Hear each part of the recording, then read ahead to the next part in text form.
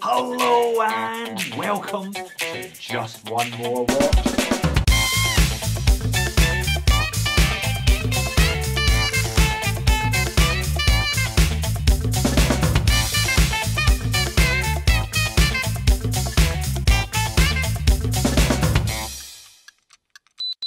Hello! I think I've already done that, haven't I? What did you think of that one then? Pretty spectacular stuff.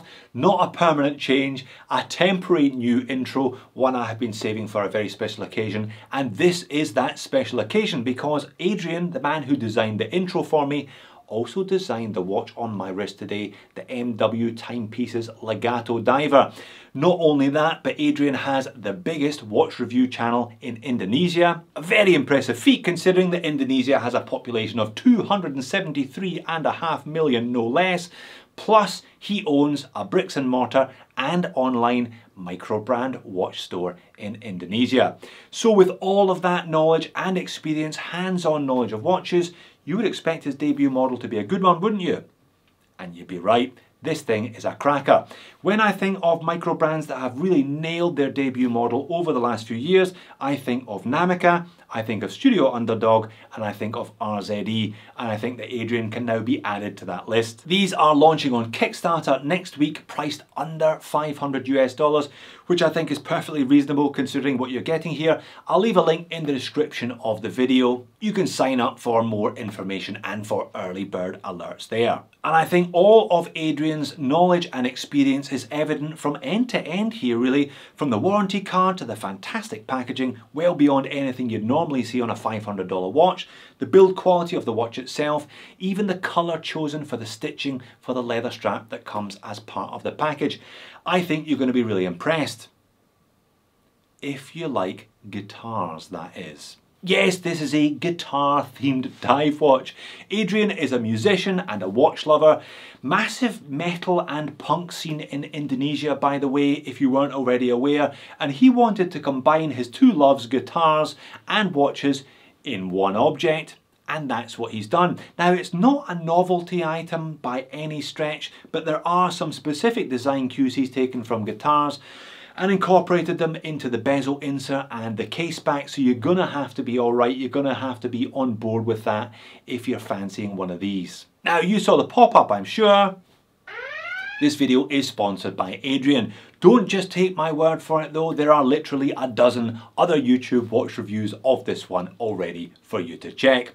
Let's flip the camera and get on with it. Right, launching on the 5th of April on Kickstarter for 489 US dollars, early bird special. Let's see what your nearly 500 bucks buys you and let's see where Adrian's experience has gone into this watch, those nice little touches. I do like the logo MW Masterwork Studios, that's his own design studio, and I like the packaging.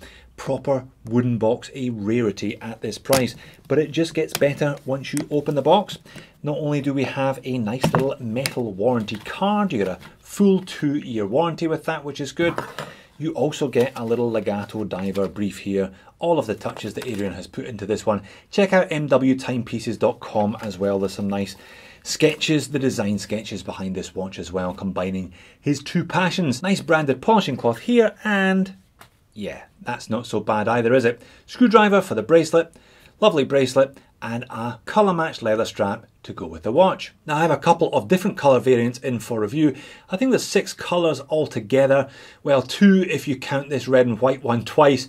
There is an Indonesian special edition limited to 50 pieces, which is a reference to the Indonesian flag, which is red and white. If you're not in Indonesia but want one of these, it'll just say 300 meters water resistance rather than having any Indonesian text on the dial. I'm going to flip back and forth between the two. I'll also show you them on the bracelets and on the leather straps. But let's talk guitars first before I get into the dimensions and specs because you're probably going to have to be on board with the whole guitar theme if you're keen on one of these. Well, sapphire bezel insert featuring a kind of fretboard, strings on there. That is the first obvious one. And then there's the case back. Well, you have the six strings right across the middle and you have this kind of filigree etching around the outer edges. I'm guessing that is a reference to the etching that you get on certain metal plates on acoustic guitars, but as you've probably already worked out, I'm not a big guitar guy myself, so I can't say with any more confidence than I did. And Legato Diver. Legato is a particular technique. They say Eddie Van Halen is famous for it, hence his appearance on the thumbnail today. Still here? Good, because I think you're in for a bit of a treat if you are on board with the guitar thing. 39.5 mil in diameter, 12.4 mil thick, so great dimensions, super compact, 45.8 mil lug to lug with drilled lugs as well. Quick release bracelet, quick release leather strap so you can go back and forth between the two. Again, very nice. I have seen this done before, but I've seen it done where one or t'other was not quick release. 20 mil lug width. Now there's a male end link here bringing that lug to lug out a little bit more, but it still wears great. Down to 16, back up to 18 and a half at the clasp. Sized up for me, average size 7 inch wrist, 151 grams. Bang on that stainless steel sports watch sweet spot. And the case finish is very, very nice indeed. Lovely high polish chamfer running all the way along from the very tip of the lug to the very tip of the lug. Nice crown as well, knurled, deep etched with the Masterworks MW Timepieces logo. And that is loomed as well. Again, a nice little touch. Cracking bezel finish also, and a very fine level of brushing throughout the rest of the case. Screw down crown, 300 meters of water resistance, so 12.5 mil thick, but they've still managed 300 meters of water resistance. I already talked about the sapphire bezel insert, flat sapphire crystal with 10 layers of anti-reflective undercoating. Bezel action is great. Sounds good? Yeah, feels really good as well. Everything lines up and no back play or bounce whatsoever. 120 click, just like you'd expect. It's a really nice bracelet as well. This one is obviously off the second watch. Super articulation here. Look at that, you can fold those links on top of each other. That does mean to say there's a little bit of flex, extra flex, but that means it's very comfortable on wrist as well. And as discussed, quick release with those male end links, and it's my favorite style of clasp. Double security, fold over, double pushers, milled upper, milled lower, and six holes of micro adjust. I will come back to the clasp a bit later on with one specific moan though. But again, the brush finish is nice here, and it has that MW logo etched into the fold over, high polish chamfered edge. Alright, let's get these two outside and have a look at them side by side under macro lens in natural light and you can see differences in the dial. The one on the left, the blue one, obviously has a quite a strong pronounced sunburst effect. The one on the right, the white dial, does not but it does have full loom as I'll show you in a couple of minutes. Differences with the hand colours as well.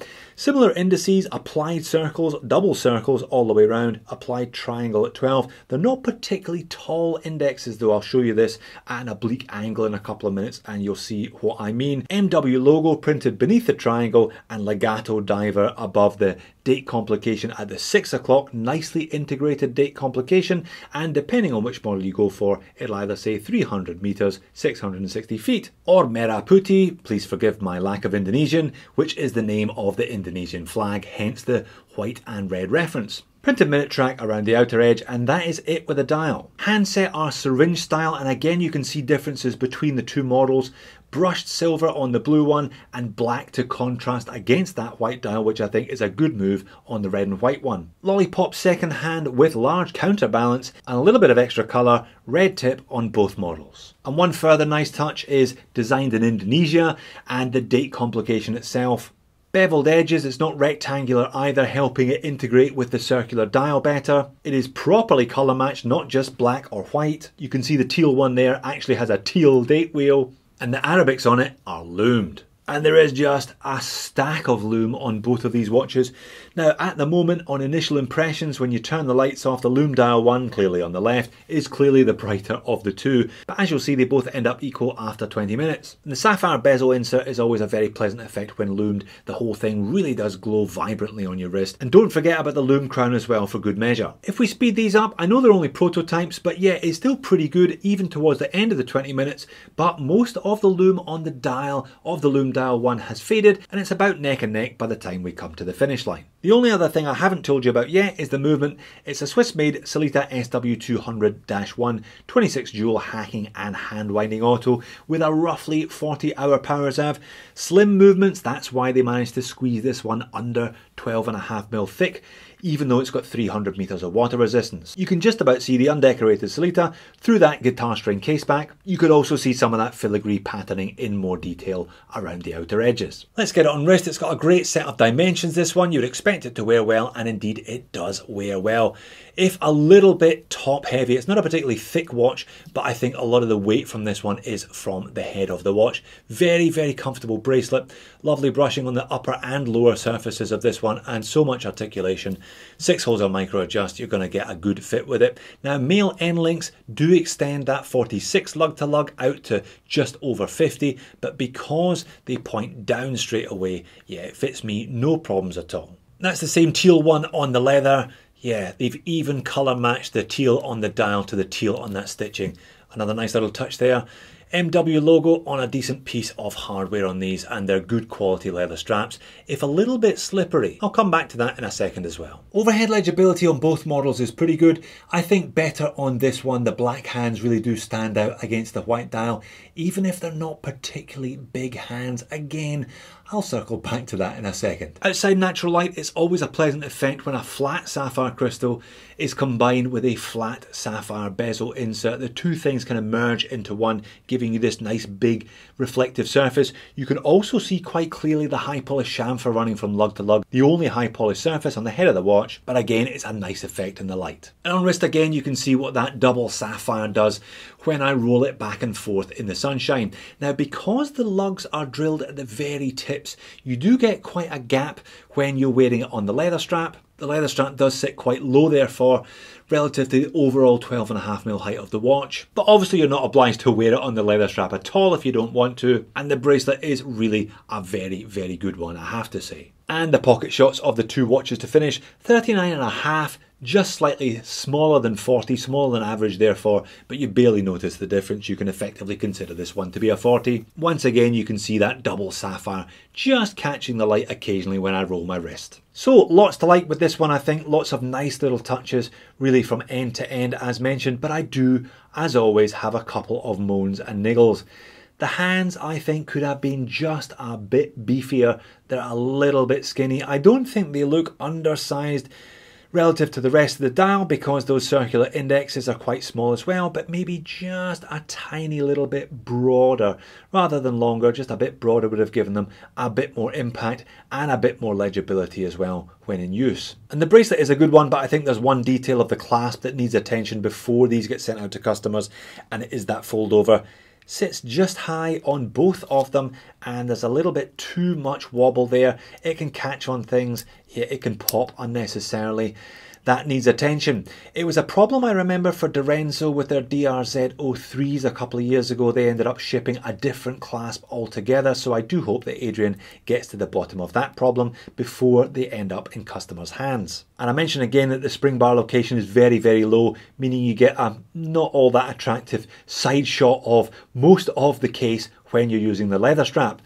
In addition, the leather strap is quite shiny underneath. The top surface and bottom surface are virtually indistinguishable, so it doesn't grip on your arm as it might if it was a suede backing or something similar. And when combined with a chunky, fairly weighty case, that means it's going to slip and slide around on your wrist. It's going to bobble more than it would if A, the spring bar hole location was slightly higher up, and or B, that had a different backing. There was a little bit more tactility and grip from the strap itself. Oh, and uh, yeah, guitars. The guitar thing rather goes over my head personally. I would be more into this one if it was a conventional diver with a conventional bezel and without those stripes, sorry, strings on the case back. So like I said at the very beginning of the review, you're gonna have to be on board with the guitar theme if you wanna get the most out of this one. But if you're into guitars yourself or you're okay with the theme, then yeah, there's a lot to like here and not a lot to dislike. So many nice touches, the colour match, loom fill date wheel, the loom crown, the lovely case finishing, the sapphire bezel insert, Swiss movement, decent quality leather strap as part of the deal today, less than $500. I think that is perfectly reasonable in 2022. So there you have it, very, very impressive for a debut model. You can tell this man has been working in the industry for many years in one way or another. A couple of tweaks needed though before production units hit market. And if you're not into the whole guitar thing, maybe he'll do a non-guitar version of this one with a different name in due course. If you want to see another micro or two that have nailed their debut model like I was talking about earlier on, why not check out the Studio Underdog, there's only one Studio Underdog, and the very impressive Titanium RZE. Thanks for watching, see you soon.